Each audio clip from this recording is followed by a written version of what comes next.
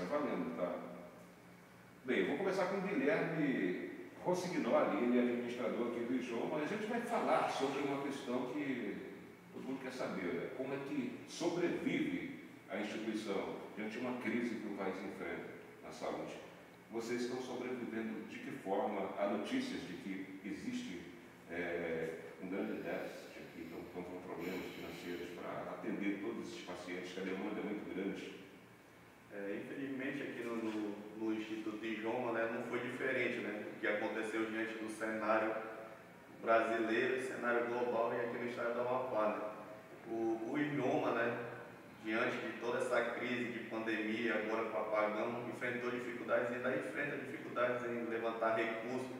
Até para entregar a cesta básica para o paciente, a gente está tendo dificuldade.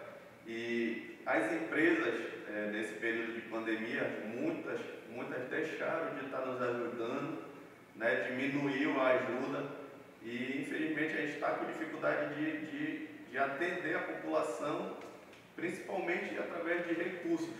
Né? A gente não está conseguindo pagar um exame, é, pagar uma passagem, por conta desse recurso, né?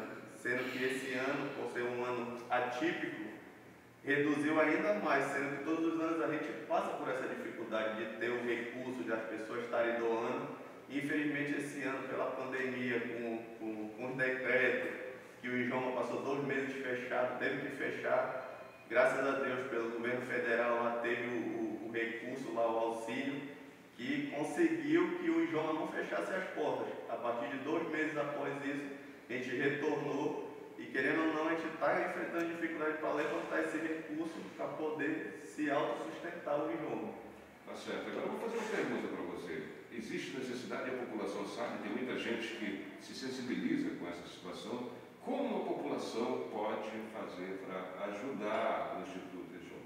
Eu quero só que você, daqui a pouquinho eu vou passar para você, porque ele não tem de cabeça aqui o número da conta, mas eu quero que você dê pelo menos uma informação para a população de como, sabem que elas têm uma responsabilidade social e eles têm que encontrar uma forma de vir até aqui e ajudar.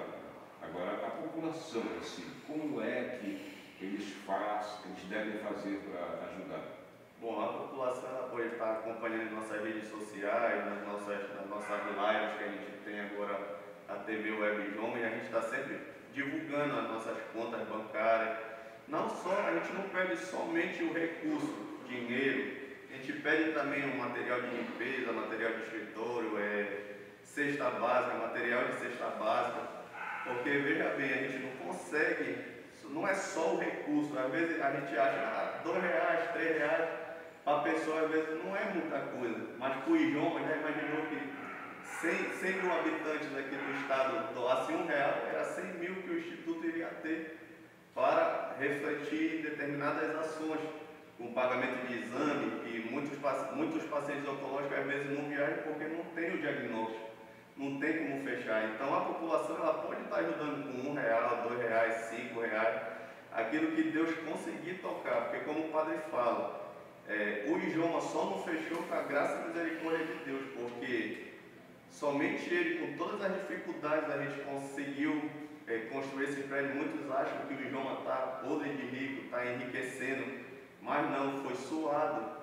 Foi construído os dois prédios do idioma com, com suor, com pouco recurso, coisa que a gente não vê no serviço na administração pública, que são esbanjam recurso e às vezes não conseguem fazer o básico para a população. E a gente pede para a população, a população de modo geral, se ela pudesse mobilizar com qualquer que seja a doação, um real, dois reais, como eu estou falando, um real para a pessoa pode até ser insignificante, mas para a instituição que consegue reverter de um real em recursos para os pacientes oncológicos, até mesmo para a sociedade, porque a gente não atende só os pacientes oncológicos, a gente atende também a sociedade que nos procura com, uma, com, com ah, a pessoa está sentindo dor, exame de PCCU, exames laboratoriais.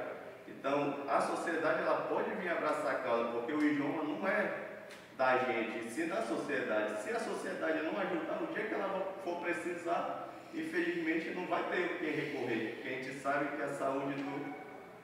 Entendeu? Não, não. Eu, digo, isso é, é eu encerrei porque se não viesse que mim, eu estou morrendo de calor. Ah. Tá. Entendeu? Tu corta aí. Não.